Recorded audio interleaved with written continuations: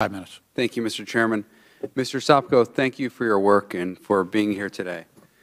Uh, since the war in Afghanistan began in 2001, and again, it's the longest war in U.S. history, the United States has spent nearly $800 billion, I think you mentioned 780 billion was your figure, on the war, including over 100 billion appropriated for reconstruction activities. In 2017, our, our colleague and my good friend, the late Rep. Walter Jones, requested information from SIGAR about the total amount of waste, fraud, and abuse SIGAR has uncovered.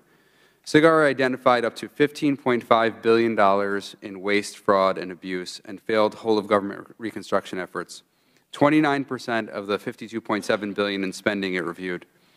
How much money is still being lost to waste, fraud, and abuse and failed whole-of-government reconstruction efforts?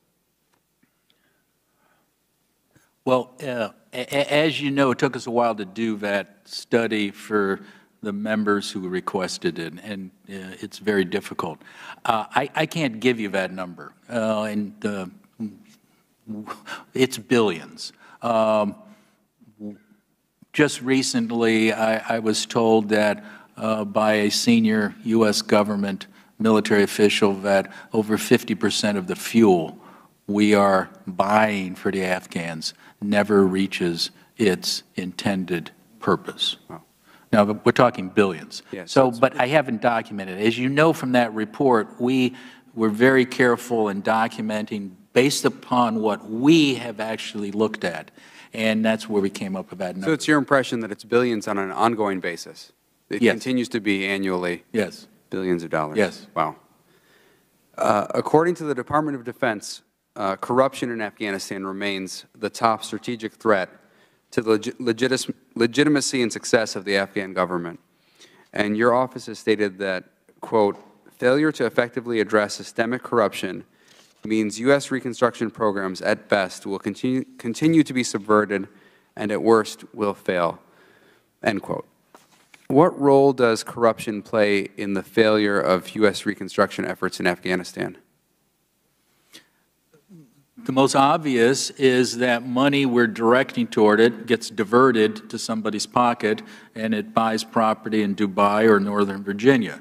Uh, but the more sinister part is that a corrupt official is identified with us, and in the eyes of the Afghans, we're viewed as evil and as bad as he is or she is.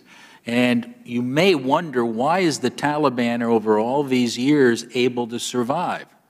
In part is it's feeding on this frustration and lack of support for the Afghan government because they see these corrupt officials, corrupt military, et cetera. So that's the two-edged sword or the prongs of the, the problem of corruption. And what steps are the U.S., its coalition partners, and the Afghan government currently taking to eradicate the culture of corruption?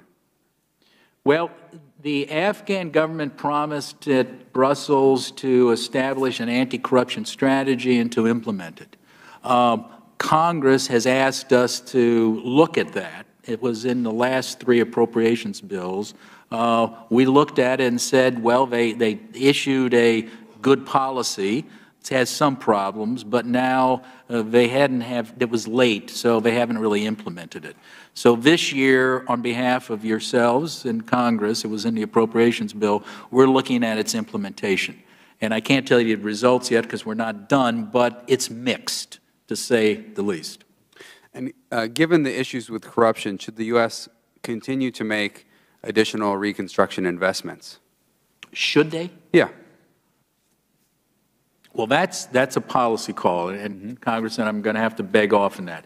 If you decide it's important to be there, if you decide it's important to rebuild Afghanistan for the stated goal to keep the terrorists out or keep them at bay, then you got to give reconstruction money. As I told you before, without us funding Afghan government, it will cease to exist.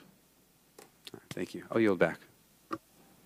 Thank the gentleman, and I, I appreciate his warm remarks regarding uh, Walter Jones, who did some wonderful work on, on this committee, was a dear friend to many of us. Uh, the Chair now recognizes the gentleman from California, Mr. Rouda, for five minutes. Thank you, Mr. Chairman. Uh, thank you, Mr. Sopko, for joining us today in your testimony. Uh, my line of questioning will be similar